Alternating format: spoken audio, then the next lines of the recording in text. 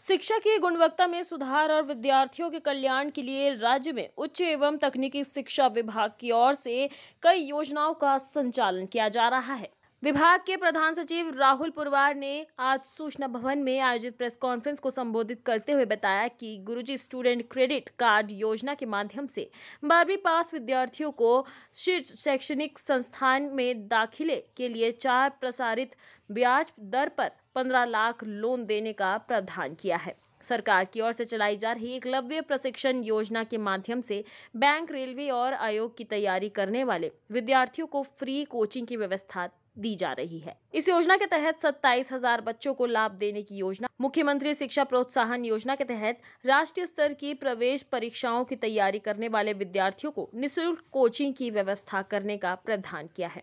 प्रधान सचिव ने बताया कि राज्य में अनुसंधान, नवाचार, उद्यमिता और कौशल विकास के साथ रोज़गार परक शिक्षा पर विशेष बल दिया जा रहा है। उन्होंने बताया कि आने वाले तीन वर्षों में रांची विश्वविद्यालय का अपना एक नया कैंपस होगा, जबकि जमशेदपुर में राज्य का पहला ट्राइबल यूनिवर्सिटी बनाने की तैयारी चल रही है। राज्य में निजी विद्यालय पारदर्शी रूप से काम कर सके, इसके लिए सरकार मॉडल यूनिवर्सिटी एक्ट लाने वाली है। आइए सुनते हैं क्या कुछ आया है नया?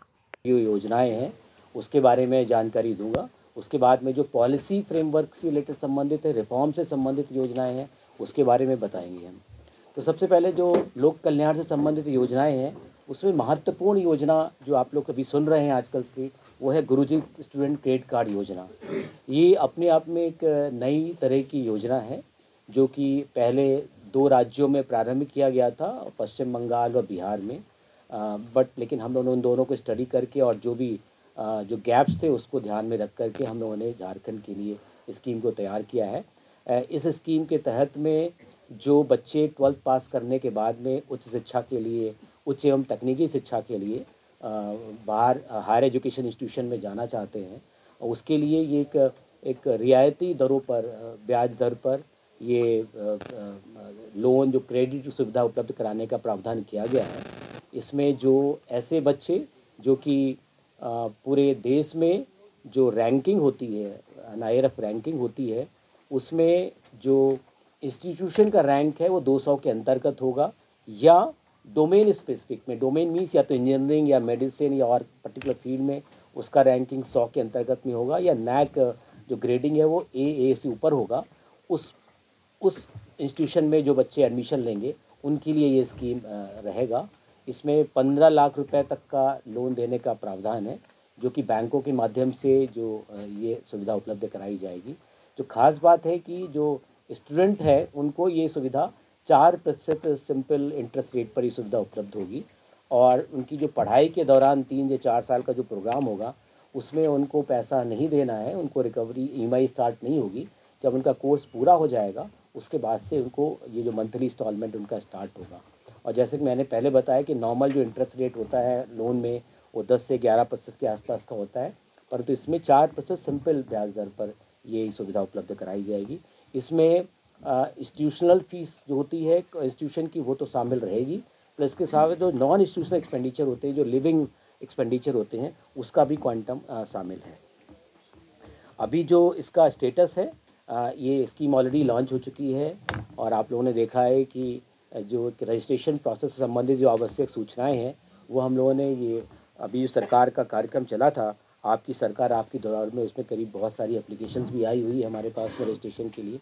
अभी इसका जो पोर्टल बना रहे हैं, ये पूरा ऑनलाइन सिस्टम से ये स्कीम लागू होगी और इसमें पोर्टल का निर्माण कार्य जारी है और वो अंतिम चरण में है। मैं उम्मीद करता हूँ कि जनवरी के लास्ट में या फरवरी के पहले सप्ताह तक पोर्टल राज़ी हो जाएगा रेडी हो जाएगा। उसके बाद उसमें एंट्री जो हमारी अप्लीकेशंस आएँगी, उनकी एंट्री स्टार्ट हो जाएगी और उम्मीद करते हैं कि अगले साल जो बच्चे एडमिशन लेंगे इंस्टीट्यूशन में, उनको ये सुविधा स्कीम की सुविधा प्राप्त होगी।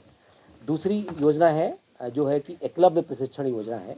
एकलव्य प्रशिक्षण योजना है कि जो जो लोग पढ़ाई करने के बाद में बच्चे लोग जो कंपटीशन की तैयारी करें, लेकिन मैं फिर भी सोचता हूँ आप लोग से शेयर कर देता हूँ।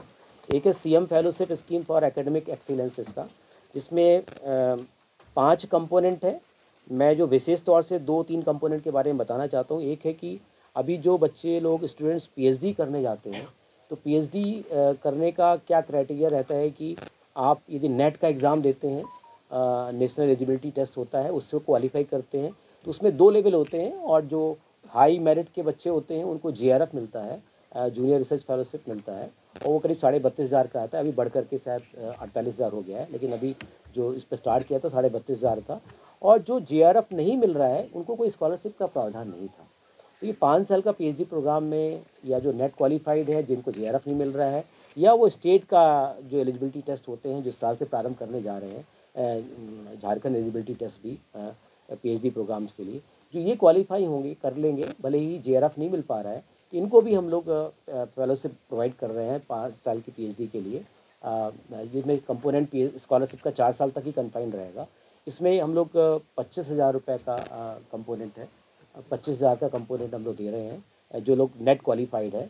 और जो जेट क्वालिफाइड होंगे, उनके लिए बाईस हज़ार पाँच सौ रुपये का पर मंथ का स्कॉलरशिप का प्रावधान कर रहे हैं, जो सबसे इंपॉर्टेंट कंपोनेंट है।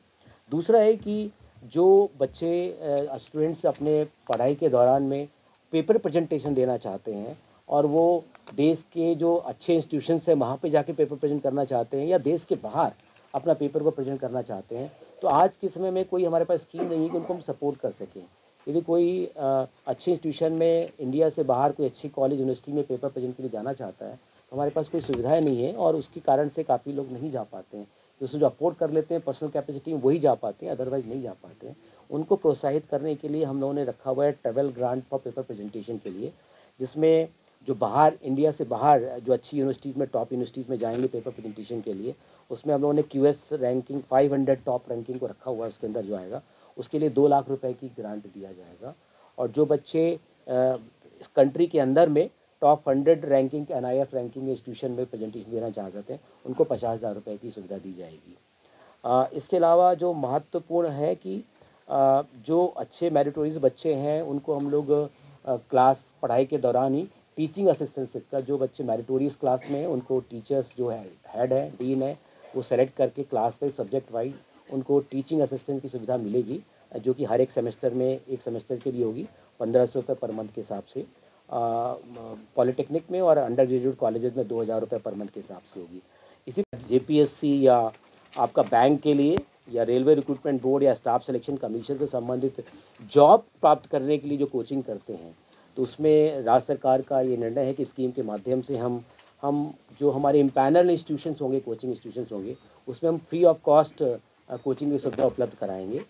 कोचिंग फ़ी के साथ साथ में राज्य सरकार के द्वारा जो उनका मंथली अलाउंसेस है पच्चीस सौ रुपये उसको भी सुविधा उनको उपलब्ध कराई जाएगी। कोचिंग फ़ीस के अलावा है, इसके लिए ज़रूरी है कि वो झारखंड से यहाँ पे से ट्वेल्थ पास होना उसके लिए कंपलसरी है, ज़रूरी है। और इसमें जो हम लोगों ने एक एस्टिमेशन रखा है कि करीब करीब हम लोग 25 इंस्टीट्यूशन को एम्पैनल करेंगे इन अलग अलग कंपटीशन एग्जामिनेशन के लिए और करीब सत्ताईस हज़ार बच्चों को इसकी सुविधा प्राप्त होगी। इसके में भी हमारा जो स्कीम है लॉन्च की दिशा पे है कि लॉन्च इन द सेंस कि पैनल जो इंस्टीट्यूशन का है, वो फाइनल स्टेज में चल रहा है। मुझे उम्मीद है कि फरवरी तक हमारा इंस्टीट्यूशन का पैनल आ जाएँगे वेबसाइट में अपलोड हो जाएगा। और बच्चों का जो स्क्रीनिंग होगा, और वो उसके हिसाब से अगले जैसे ही हमारा पोर्टल रेडी हो जाएगा स्क्रीनिंग स्टार्ट हो जाएगा, और जो बच्चे स्क्रीन जो स्क्रीनिंग के बाद जो बच्चे होंगे, वो अपना जिस कोचिंग में जो पैनल इंस्टीट्यूशन है, उसमें एडमिशन लेकर के वो इस सुविधा का लाभ उठा सकते हैं। दूसरा है कि इसी में डिप्लोमा और इंजीनियरिंग के बाद में बच्चों लोग अप्रेंटिसशिप करते थे। अप्रेंटिसशिप में क्या होता है कि वो बीओपीटी के साथ में board of practical training government of India के उसके साथ मिल करके आप अप्रेंटिसशिप में लोग रखते हैं ताकि लोग एक अलग तरह की इंडस्ट्रीज़ में या इंडस्ट्री रिक्वायरमेंट के हिसाब से ट्रेनिंग कर सकें। बाद में उनका प्लेसमेंट होने का भी उसको बढ़ जाता है अप्रेंटिसशिप करने के बाद में। तो ये सुविधा सिर्फ़, जो टेक्निकल इंस्टीट्यूट से बच्चे पढ़ रहे हैं, उनके लिए थी। अभी ये सुविधा को नॉन टेक्निकल इंस्टीट्यूशंस में भी मतलब हमारे यूनिवर्सिटी कॉलेजेस में भी जो बच्चे पढ़ रहे हैं, मान लीजिए उसने फिजिक्स से मेजर किया है या मैथ से मेजर किया है या उसने जोग्राफी से मेजर किया है और वो वहाँ के हिसाब से वो भी अप्रेंटिसशिप की सुविधा का लाभ ले सकते हैं। इस अप्रेंटिसिप का फ़ायदे, दो फ़ायदे हैं।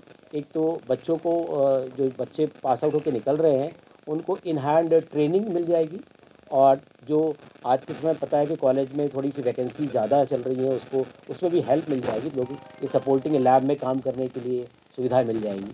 इसमें दो तरह से पेमेंट होगा। इसमें अप्रॉक्सीमेटली बारह हज़ार रुपये पर मंथ के हिसाब से उनको सुविधा मिलेगी, जिसमें चार हज़ार पाँच सौ रुपये भारत सरकार की का कंपोनेंट शामिल होगा। रेस्ट जो सात हज़ार पाँच सौ है, वो राज्य सरकार की ओर से दिया जाएगा इसमें जो हमारा है, उसमें करीब सात, करीब आठ सौ बच्चों को इसकी सुविधा मिल जाएगी इस तरह की सुविधा से। इसके अलावा जो हमारे टेक्निकल इंस्टीट्यूशन में बच्चे एक साल का अप्रेंटिसशिप करते हैं उसके लिए इस साल हम लोगों ने एक एडवांस अप्रेंटिसशिप का कराया है कि एक साल आप और रह करके वहाँ पे जो लैबोरेटरीज़ है टेक्निकल इंस्टीट्यूशन में और जो मशीनों का में जो स्किल होनी चाहिए, वो ले सकते हैं। इसमें जो बारह हज़ार का कंपोनेंट है, पूरा दस हज़ार रुपये जो डिप्लोमा होल्डर है और पंद्रह हज़ार रुपये जो इंजीनियरिंग ग्रेजुएट है, उनको ये एडवांस अप्रेंटिसशिप का है, ये पूरा कंपोनेंट राज्य सरकार के द्वारा वारित किया जाएगा। कि पूरा जो खर्च होता है, वो राज्य सरकार वहन करती है और दूसरा एफिलेटेड कॉलेजेस होते हैं जिसमें जो प्राइवेट इंस्टीट्यूशन से अपने कॉलेज होते हैं और यूनिवर्सिटी को एफिलेशन दिया जाता है। तो जो हमारे एफिलेटेड कॉलेज होते हैं, उसमें भी तीन तरह की कैटेगरीज होती हैं। एक होते हैं टम्परेरी एफिलेशन मिलता है, दूसरा परमानेंट एफिलेशन होते हैं और तीसरा ऑटोनोमस कॉलेजेस होते हैं। तो इसमें जो टम्परेरी एफिलेशन होता है और एफिलेशन के एक नया रूल्स बन रहे हैं, जो कि फाइनल स्टेज में है, कि कैसे ट्रांसपेरेंट तरीके से एफिलेशन का प्रोसेस किया जाएगा ऑनलाइन पोर्टल के माध्यम से। वो वो भी प्रक्रिया एक नियम के तहत सुनिश्चित की जाएगी। अभी इसमें जो एक नया डेवलपमेंट है वो बताना चाहते हैं कि पहले जो परमानेंट एफिलेटेड कॉलेज थे उनको एक फ्लैट ग्रांट के रूप में दिया जाता था। तो उसमें उसका क्वालिटी से कोई लिंक नहीं होता था। अभी हम लोगों ने इस साल से जो किया प्रारंभ किया है कि जितने परमानेंट एफिलेटेड कॉलेज हैं जहाँ तक मुझे नंबर याद है सिक्सटी नाइन है। आ, कोई मुझे करेक्ट करेगा यदि नंबर में कोई परिवर्तन है। सिक्सटी नाइन कॉलेजेस हैं। उसमें आ, आ, हम लोग ये क्वालिटी से लिंक कर दिया है उनका ग्रांट को। इसमें जो अभी ग्रांट मिलती है, उसको हम लोगों ने तीन कैटेगरी में बांटा है, जिनका ए ग्रेड नैक में ए ग्रेडिंग आएगा इंस्टीट्यूशन उनको जो अभी करंट मिल रहा है, उसका सिक्स टाइम से ज़्यादा सिक्स टाइम के आसपास उनका ग्रांट मिलने लगेगा। इनका बी के आसपास होगा, उनको फोर टाइम्स का आसपास होगा, जो सी होगा, उनका टू टाइम्स होगा। लेकिन ये एक सब्जेक्ट टू कंडीशन है कि पाँच साल तक यदि ये सुविधा परमानेंट अप्लीकेशन की उन्हीं को मिलेगी जो बी या बी प्लस है। क्योंकि पहले से एफिलेटेड कॉलेजेस थे तो उनको हम लोग पाँच साल का मॉरिटोरियम दे रहे हैं कि उनको पाँच साल तक बी उससे ऊपर ग्रेड लाना है। यदि नहीं आएँगे तो उनको परमानेंट अपलेशन की कैटेगरी से बाहर कर दिया जाएगा। और ये हम लोगों ने परफॉर्मेंस लिंक्ड क्वालिटी लिंक्ड एक ग्रांट का प्रावधान किया गया है, जो इस फाइनेंशियल ईयर से प्रारंभ हो जाएगा।